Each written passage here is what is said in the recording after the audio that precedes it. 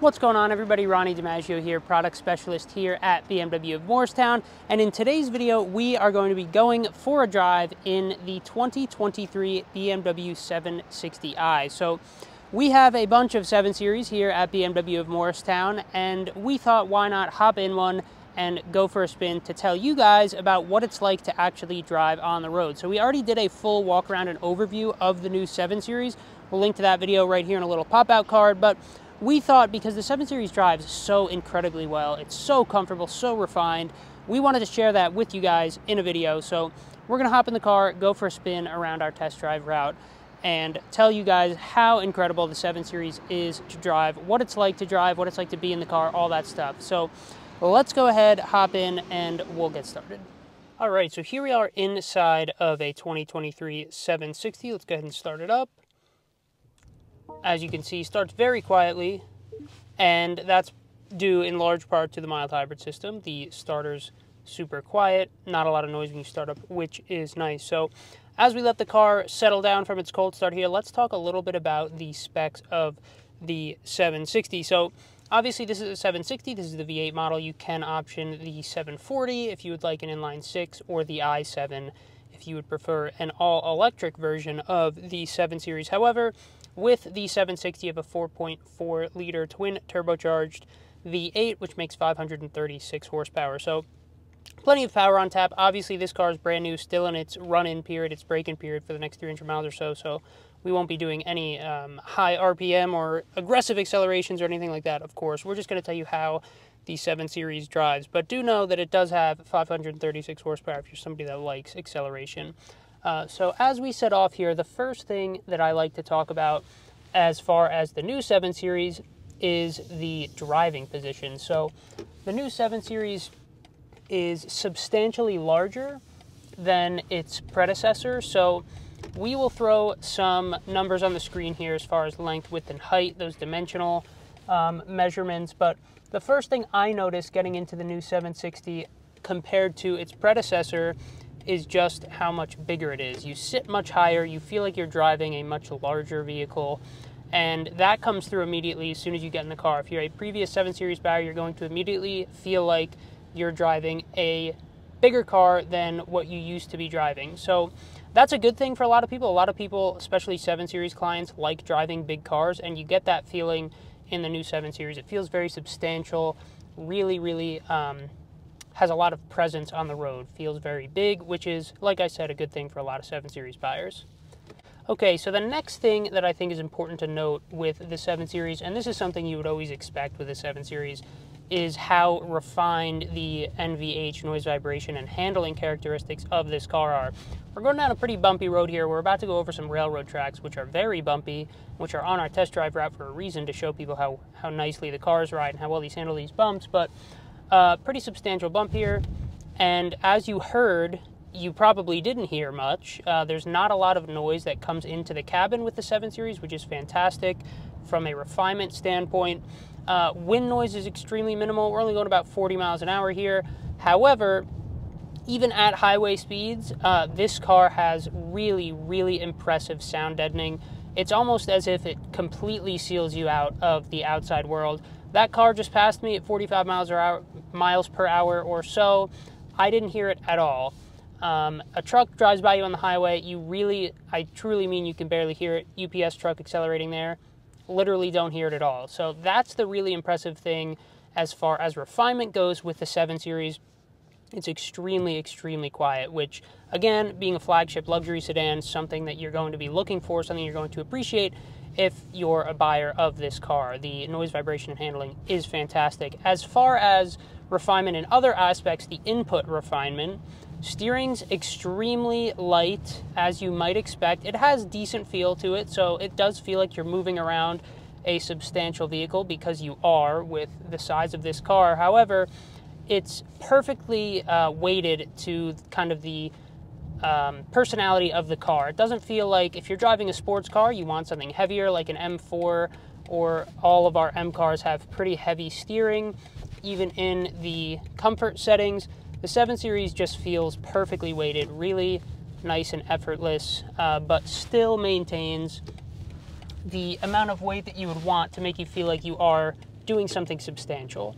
Uh, as far as the throttle goes, super smooth in comfort mode. You can dial it up to sport mode if you want to. If you want something a little snappier, a little sharper, you can do that. But again, not really the the idea with the 7 Series to be sporty, but it can be sporty if you wanted to. We'll talk about that in a second. But as far as uh, throttle and comfort mode, uh, like I said, really smooth, really linear.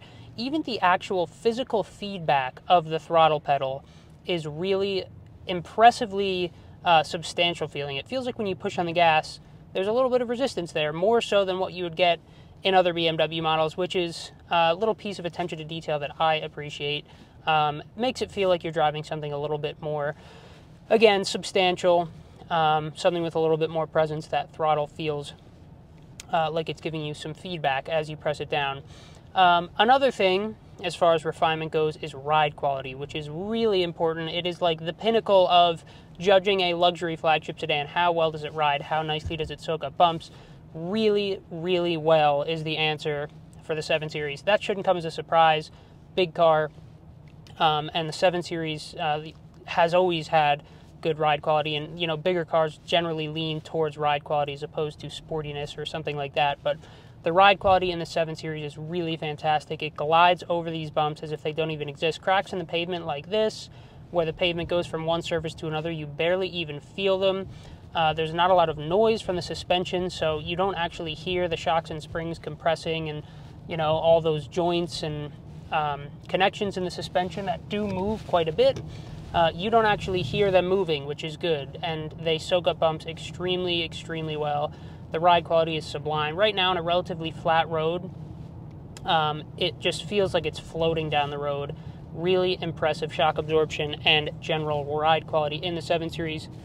Now, that's not to say that it doesn't handle well. A lot of times people think of ride quality and um, suspension capabilities from a performance perspective as being mutually exclusive.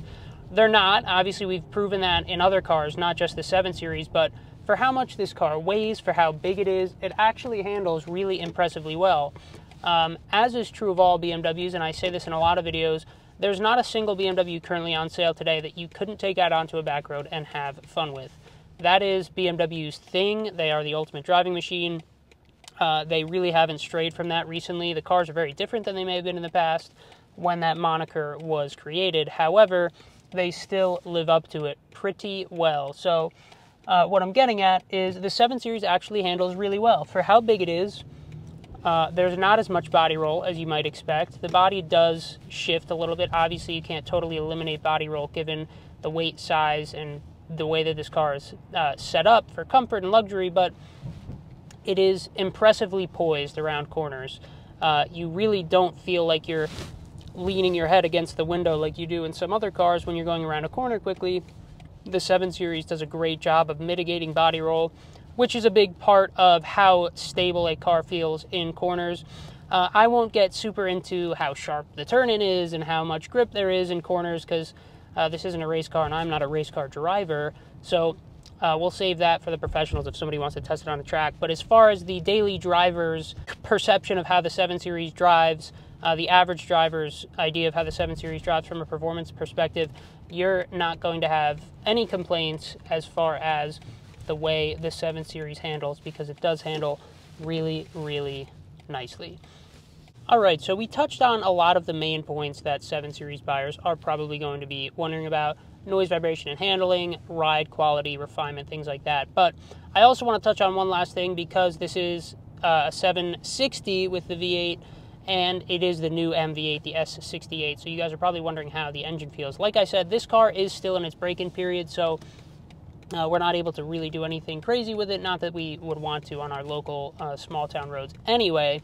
But we can accelerate mildly just so you guys can maybe hear what the engine sounds like and I can kind of give you an idea of what the acceleration is like in everyday driving scenarios because most of the time 7 Series buyers probably won't be doing any super hard aggressive accelerations, but you might want to know what it's like if you're just merging onto a highway, accelerating uh, up to 3.5, maybe 4,000 RPM. So I'll give it about 40% half throttle here, and as you can see, accelerates really nicely. Um, the power is, as of true of all modern uh, turbocharged BMW engines. It comes on really nice and early in the RPM band. So I'm at uh, 1500 RPMs here. I'll slow down a little bit so I have some room to accelerate. And if I just gently lean into the throttle, there's a big wave of torque that you can just ride out easily. Really strong thrust in the back of the seat, which is what you would expect from a twin turbo V8, of course, and what you would require of a luxury sedan. Part of being a good luxury sedan is obviously having the luxury of passing whoever you want, whenever you want, at whatever speed you want and the 7 Series is really good at that. It has the power for that. So the power in the 7 Series will not leave you wanting. Now, that is, uh, it's important to point out that this is a 760 with the V8, obviously. Uh, the 740 is the 375 horsepower model. That is the B58 turbocharged inline six. So that is down, you know, almost 200 horsepower from the model we're driving here. So the acceleration won't be quite as strong However, it still moves the car really nicely. It still doesn't feel sluggish or anything like that in the B58 powered version of the 760. But if you want that acceleration, if you're used to something like a Mercedes S550 or um, a BMW 750, some of those, most of those V8 powered luxury sedans, the 760 is going to be the one you want. And we'll cap off our driving segment here with another mild little acceleration up to the posted speed limit of 40 miles an hour. So again, about half throttle here. Nice wave of torque, revs all the way up to, or only up to 3,500 or so RPMs because it doesn't need to rev. You could drive this car in the break-in period uh, for its entire life and you would never feel like it was out of power. They could cap the red line here at 4,000 RPMs and you would never want to go over that because you have so much torque and power available down low, which is awesome and great for a big car like this.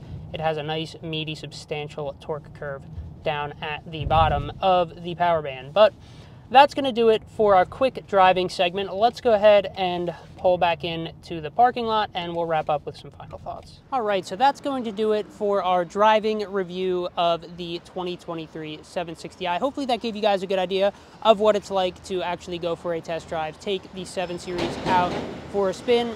As I said, it's great to drive, really, really comfortable, supremely so. Uh, good power, good handling. It's what you'd expect out of a BMW flagship sedan. So that's going to do it for this video. Thank you guys so much for watching. If you did enjoy it, please go ahead and like the video, subscribe to the channel if you think we deserved it. Drop a comment if you have any questions about the 760 or any comments, questions about anything BMW related. We read and respond to all of our comments. Uh, follow us on our other socials at BMW of Morristown on Instagram, Facebook, and TikTok. And of course, if you're interested in a new BMW, give us a call at 973-455-0700 or visit us at 111 Ridgedale Ave here in Morristown, New Jersey. And that's going to do for this one. Thank you guys for watching, and we'll see you in the next one.